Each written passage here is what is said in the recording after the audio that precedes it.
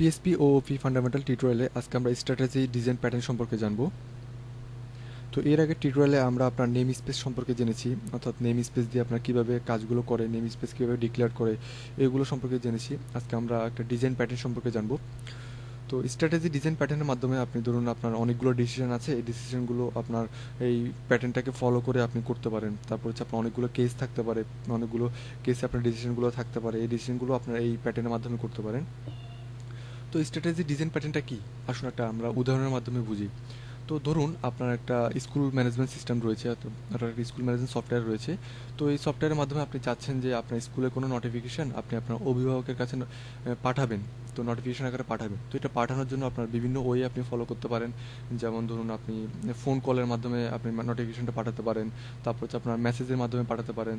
তারপর হচ্ছে আপনার এস এম এস এর মাধ্যমে অর্থাৎ মেসেজের মাধ্যমে পাঠাতে পারেন, তারপর হচ্ছে আপনি ফ্যাক্সের মাধ্যমে পাঠাতে পারেন, অর্থাৎ বিভিন্ন ওয়েতে আপনি পাঠাতে পারেন, তারপর মেলের মাধ্যমে পাঠাতে পারেন আপনি আপনার নোটিফিকেশনগুলো তো এই যে একটা নোটিফিকেশন পাঠানোর একটা ওয়ে হুম, আপনি চাচ্ছেন যে এক এক সময় এক একটা পাঠাবেন, একটা ডিজাইন করে রাখছেন যে আমি এই সময় এটা পাঠাবো, ওই সময় এটা পাঠাবো মেসেজ পাঠাবো, আবার পরবর্তী সময় আপনার কল করে পাঠাবো। এই যে একটা ডিজাইন করে রাখবেন, এই ডিজাইনটা হচ্ছে আপনার স্ট্র্যাটেজি ডিজাইন প্যাটার্ন আর কি।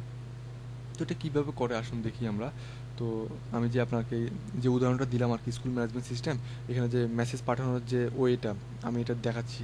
তো আমি প্রথমে বলে রাখি, আমি জাস্ট এখানে আপনার কীভাবে মেসেজ পাঠাবেন, অর্থাৎ মেসেজটা কীভাবে পাঠাবেন, এই জিনিসটা আমি দেখাবো না। আমি জাস্ট আপনাকে ডিজাইনটা করে রাখব। যে প্যাটার্নটা আমরা নিয়ে আলোচনা করছি স্ট্র্যাটেজি ডিজাইন প্যাটার্ন এই প্যাটার্নটা আপনার জাস্ট ডিজাইন করে রাখবে এই প্যাটার্নের তো এটা করার জন্য আমাদের যে রুট ফোল্ডারটা রয়েছে, অর্থাৎ যে আপনার এসটি ডক্সের ভিতর গিয়ে আপনার প্রজেক্ট নামের যে ফোল্ডারটা রয়েছে এই প্রজেক্ট ফোল্ডারের মধ্যেই আমরা একটা ফাইল নিচ্ছি নিউ ফাইল তো এই ফাইলটা ধরুন আমরা সেভ করলাম আপনার স্যান্ড মেসেজ নামের একটা ফাইল নিচ্ছি ধরুন স্যান্ড মেসেজ ডট পিএইচপি এই নামেই আমরা একটা ফাইল নিয়ে সেভ করলাম, অর্থাৎ মেসেজটা সেন্ড করব। তো এখানে ধরুন একটা পিএসপি একটা ব্লক নিই আমরা পিএসপি একটা ব্লক নিলাম। তো পিএসপি ব্লকের মধ্যে আমরা এখানে একটা ইন্টারফেস নিব। তো ইন্টারফেসটা কি?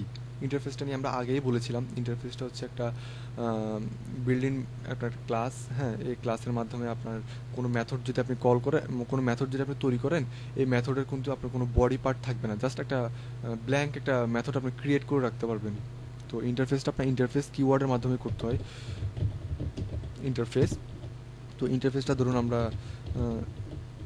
সেন্ড মেসেজ নামের একটা ইন্টারফেস নিলাম। তো এখানে একটা আমরা মেথড ক্রিয়েট করব, যেমন ধরুন পাবলিক ফাংশন নিলাম, তো ধরুন আমরা এখানে নোটিফিকেশন নামের একটা মেথড নিব। নোটিফিকেশন তো আগেই বলেছি, আপনার ইন্টারফেসের ক্ষেত্রে আপনার বডি পার্ট থাকে না, অর্থাৎ এখানে আমরা কোনো বডি পার্ট রাখব না। তো এটা ধরুন আমরা সেভ করলাম সেভ করার পর আমরা আবার আমাদের যে রুট ফোল্ডারটা রয়েছে, এই রুট ফোল্ডারের মধ্যে আমরা আরেকটা ফাইল নিব।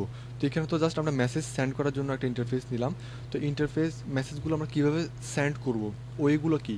আমাদের মেইল আছে, তারপর হচ্ছে ধরুন এস এম এস আছে, তারপর ধরুন ফ্যাক্স আছে। আমরা এই তিনটা নিয়ে কাজ করছি ধরুন সাপোজ আর কি। তো আমাদের মেল যেহেতু করব, তো মেলের জন্য একটা ক্লাস নিলাম আমরা এখানে।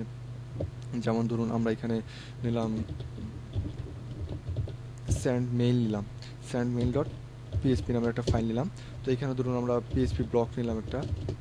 তো পিএসপি ব্লকের মধ্যে ধরুন আমরা এখানে একটা ক্লাস নিলাম। ক্লাস নিলাম ধরুন আমরা এখানে দিলাম স্যান্ড সেন্ট মেইল তো আমরা যেহেতু এখানে ইন্টারফেসটা নিয়েছি হ্যাঁ তো ইন্টারফেসের নাম হচ্ছে আপনার সেন্ট মেসেজ মেসেজটা আমরা ওইগুলোতে সেন্ড করব। ওইটা হচ্ছে আপনার সেন্ড মেল তো এটা একটা যেহেতু ইন্টারফেস সেহেতু এখানে আপনার ইমপ্লিমেন্ট করতে হবে। ইন্টারফেসের ক্ষেত্রে যেহেতু ইমপ্লিমেন্ট করা জানেনই আপনারা। ইমপ্লিমেন্টস করলাম। ইমপ্লিমেন্টস কোনটাকে করব? আমাদের এই যে সেন্ড মেসেজটাকে তো আমরা ইমপ্লিমেন্ট করব এখানে। তো ইমপ্লিমেন্ট করলাম। ইমপ্লিমেন্ট করার পর এখানে ধরুন আমরা একটা মেথড নিব। তো এটা অবশ্যই পাবলিক হবে সরি পাবলিক ধরুন। পাবলিক ফাংশন দিয়ে ধরুন আমরা যে আমরা ইন্টারফেসের মধ্যে যে নোটিফিকেশন যেটা নিলাম আর কি আপনার, যে মেথডটা নিলাম বডি পার্ট ছাড়া, ওই মেথডটা আমরা এখানে ডিক্লেয়ার করবি। যেহেতু আমরা এখানে ইমপ্লিমেন্টস করছি আর কি। তো নোটিফিকেশনের মধ্যে ধরুন, আমি এখানে আগে বলে রাখছি, আমি এখানে জাস্ট কোডিংগুলো দেখাবো না, আমি জাস্ট ডিজাইন করে দেখাবো এখানে এখানে ধরুন আমরা আমাদের কোডগুলো হবে আর কি, যেমন এখানে আমি লিখলাম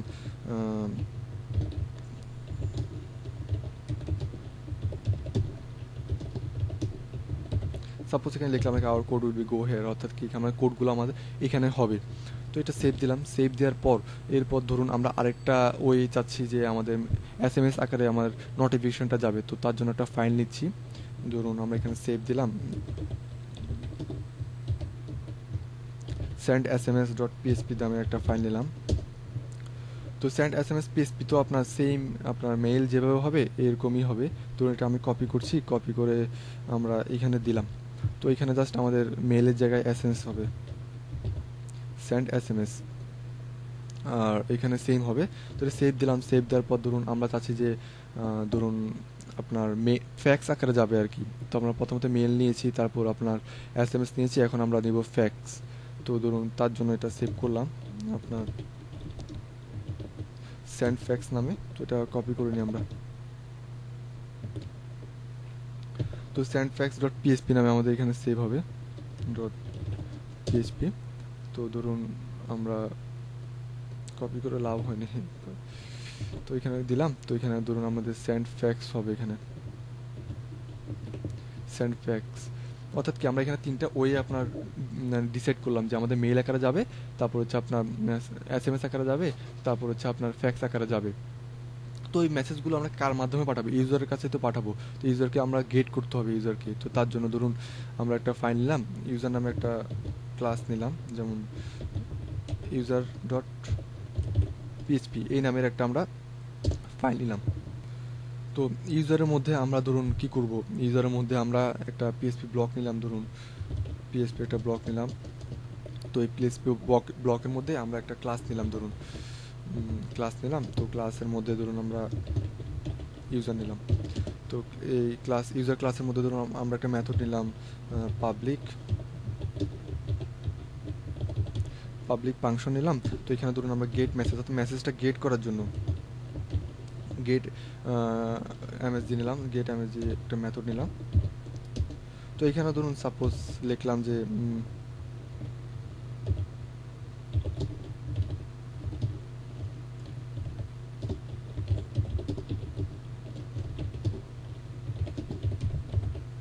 হেয়ার হবে, ধরুন। সাপোজ একটা লিখলাম, আমার কোডগুলো এখানে হবে আর কি। তো আমি আগেই বলেছিলাম যে আমি কোড করছি না জাস্ট ডিজাইনটা করে রাখছি আপনাদেরকে, দেখাচ্ছি কীভাবে ডিজাইন করতে হয়। তো এখানে ধরুন আমরা কি করলাম? প্রথমত একটা ইন্টারফেস নিলাম সেন্ড মেসেজের মাধ্যমে। তারপর হচ্ছে মেসেজগুলো কীভাবে পাঠাবো তার ওইগুলোর জন্য আলাদা আলাদা ফাইল নিলাম। মেইলে মাধ্যমে পাঠাবো, তারপর এস এম এস এর মাধ্যমে পাঠাবো, তারপর ধরুন আমরা ফ্যাক্সের মাধ্যমে পাঠাবো। তো এগুলো আমরা কার কাছে পাঠাবো? ইউজারের কাছে পাঠাবো তো। ইউজারের কাছে গেট মেসেজ হিসেবে একটা মেথড নিলাম ইউজার ক্লাসের মধ্যে। তো এখন ধরুন আমাদের যে ইন্ডেক্স যে ফাইলটা রয়েছে, এই ইন্ডেক্স ফাইলের মধ্যে আমরা আমাদের যে ইউজারটা রয়েছে ইউজারের একটা অবজেক্ট তৈরি করব ইউজার ক্লাসের তো প্রথমত আমাদের সেন্ড মেসেজ যেটা আছে, এটা একটা ইন্টারফেস ইন্টারফেসে আপনার অবজেক্ট তৈরি করা যায় না, যার কারণে আমরা আপনার ইউজার ক্লাসের একটা অবজেক্ট তৈরি করব এখানে। তো ধরুন আমরা এখানে দিলাম ইউজার নামে একটা ভেরিয়েবল নিলাম। তো ভেরিয়েবলের মধ্যে আমাদের যে ক্লাসটা রয়েছে, আমরা কপি করে নিই, তাহলে ভুল হওয়ার সম্ভাবনা খুব কম থাকে। আজকে ইউজার নামের একটা আপনার অবজেক্ট তৈরি করলাম। তো ইউজার অবজেক্টের মধ্যে আমরা কি করব? ইউজারের মধ্যে যে মেথডটা রয়েছে গেট মেসেজ এই মেথডটাকে কিন্তু অ্যাক্সেস করব। তো এটা কার মাধ্যমে করব? অবজেক্টের মাধ্যমে করব। তো ধরুন আমরা এখানে ইউজার দিলাম। এই যে আমরা অ্যাক্সেস করলাম। তো এটাকে আমরা ধরুন একটা ভেরিয়েবলের মধ্যে রাখি। যেমন এমএসজি নামের একটা ভেরিয়েবল নিলাম। তো এটার মধ্যে আমরা রাখলাম। তো তারপর ধরুন আমরা চাচ্ছি কি আমাদের যে ডিসিশনগুলো রয়েছে, অর্থাৎ আমাদের এখানে অনেকগুলো কিন্তু ডিসিশন আছে। আমরা কোনটার মাধ্যমে পাঠাবো? মেইলের মাধ্যমে পাঠাবো? এস এম এসের মধ্যে পাঠাবো? নাকি ফ্যাক্সের মধ্যে পাঠাবো? তো এই জিনিস ডিসিশনটা নেওয়ার জন্য আমরা ধরুন সুইচ কেসটা ইউজ করব। তো সুইচ কেস কীভাবে ইউজ করতে হয় সেটা আমরা আগেই দেখেছি আমার আগের টিউটোরিয়ালগুলোতে তো ধরুন সুইচ ইউজ করলাম, তো সুইচের মধ্যে যে ভ্যারিয়েবলটা আছে, এই ভ্যারিয়েবলের মধ্যে আমরা মেসেজটা রাখব। অর্থাৎ কি, এই মেসেজের মাধ্যমেই তো আমরা গেট মেসেজ মেথডটাকে অ্যাক্সেস করছি। তো এটা ধরুন কপি করলাম কপি করে আমরা এখানে রাখলাম। তো রাখার পর দেখুন আপনার এখানে অনেকগুলো আপনার কেস আছে, আমাদের তিনটা কেস আছে। আপনার মেইল একটা কেস তারপর এস এম এস একটা কেস তারপর হচ্ছে আপনার ফ্যাক্স একটা কেস তো আমরা কেসগুলো ধরুন এখানে কপি রাখলাম এখানে, তারপর হচ্ছে আপনার ধরুন এখানে আরেকটা হবে। তো প্রথম কেস হচ্ছে আপনার ইমেল তো আমরা ধরুন এখানে ইমেল লিখলাম। তো ইমেলের মধ্যে আমরা কি চাচ্ছি? আমরা যখন আমরা ইমেলটা আমরা চুজ করব, তো তখন আমার অটোমেটিক্যালি ইমেলের ইমেলের মধ্যে যে মেলের মধ্যে যে আপনার নোটিফিকেশান যে ফাংশনটা মেথডটা রয়েছে, এই মেথডেরই বা স্যান্ড মেলেরই একটা অবজেক্ট তৈরি হয়ে যাবে। অবজেক্ট অর্থাৎ অটোমেটিক একটা অবজেক্টটা তৈরি হবে যখন আমরা মেলটা সিলেক্ট করব। তো তার জন্য ধরুন আমরা এখানে দিলাম, একটা ভেরিয়েবল নিলাম, ধরুন ওবিজে তারপরে দিলাম এমএসজি দিলাম। সাপোজ একটা ভেরিয়েবল নিলাম আর কি। অর্থাৎ একটা অবজেক্ট তৈরি করলাম। তো এখানে কিসের অবজেক্ট তৈরি করব? নিউ দিয়ে আমরা ধরুন, আমাদের যে স্যান্ড মেসেজটা রয়েছে সরি স্যান্ড মেলটা রয়েছে স্যান্ড মেলেরই তো অবজেক্ট তৈরি করব। তো আমরা ধরুন এখানে দিলাম। তো স্যান্ড মেলের অবজেক্ট তৈরি হয়ে গেলো। তারপর ধরুন আমাদের আছে আপনার এখানে এস এম এস হ্যাঁ অর্থাৎ স্যান্ড এস এম এস যেহেতু আছে, তো আমরা ধরুন এখানে দিলাম আপনার এস এম এস দিলাম। তো এস এম এস দেওয়ার পর আমরা ধরুন এটাকে কপি করলাম। কপি করে অর্থাৎ অটোমেটিক এটা এস এম এস যখন সিলেক্ট করব, আমাদের এস এম এস এর আপনার একটা অবজেক্ট তৈরি হয়ে যাবে। এস এম এস তো তারপরে কি আছে? তারপর আছে আমাদের ফ্যাক্স আছে, এই যে সেন্ড ফ্যাক্স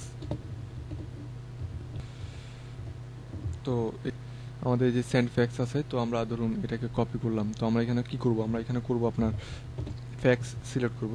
সরি ফ্যাক্স তো আমাদের ধরুন এখানে আমরা এই যে এটাকে কপি করলাম। ধরুন কপি করে এখানে দিলাম। তো আমাদের ওইটা হচ্ছে আপনার ফ্যাক্স তো ধরুন আমাদের এখানে সেন্ড ফ্যাক্স হবে। তো আমরা তো এখানে দেখলাম যে আমরা যে এই মেসেজটা আমরা যেটাই সিলেক্ট করি না কেন ইমেল যদি সিলেক্ট করি ইমেলের একটা অটোমেটিক্যালি অবজেক্ট সে ক্রিয়েট করে ফেলবে। এস এম এস সিলেক্ট করলে এস এম এস এর অবজেক্ট সে ক্রিয়েট করে ফেলবে। তারপর হচ্ছে আপনার ফ্যাক্স যখন সিলেক্ট করবেন ফ্যাক্সেরই একটা অবজেক্ট সে ক্রিয়েট করে ফেলবে। তো এবার এখানে দেখুন আপনার মেলের মধ্যে কিন্তু আপনার একটা ফাংশন রয়েছে নোটিফিকেশন নামের। তারপর হচ্ছে আপনার এস এম এস এর মধ্যেও কিন্তু একটা ফাংশন রয়েছে, অর্থাৎ মেথড রয়েছে নোটিফিকেশন নামের। সেমভাবে ফ্যাক্সের মধ্যেও কিন্তু রয়েছে। তো আমরা এখন কি করব? অবজেক্ট যখন ক্রিয়েট করবে, এই অবজেক্টের মাধ্যমে কিন্তু আপনার এই নোটিফিকেশন প্রত্যেকটাতে কিন্তু সেম হ্যাঁ এই যে নোটিফিকেশন সেই মেথডটাকে সে অটোমেটিক্যালি সে অ্যাক্সেস করবে। তো এটার জন্য ধরুন আমাদের যে অবজেক্টটা রয়েছে, এই যে অবজেক্টটা আছে, এই অবজেক্টটা দিলাম এখানে।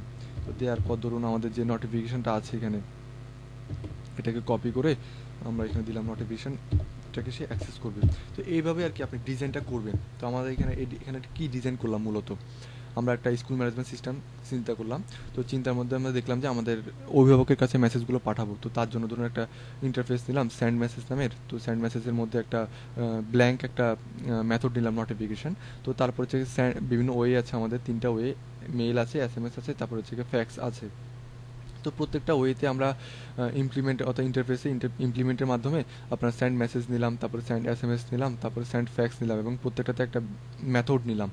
নোটিফিকেশনের নামের। তো এই মেথডগুলো আমরা ইউজারের মাধ্যমে একটা ইউজার একটা ক্লাস নিলাম, তো ইউজারের মধ্যে একটা গেট মেসেজ নামে একটা ফাংশন নিলাম।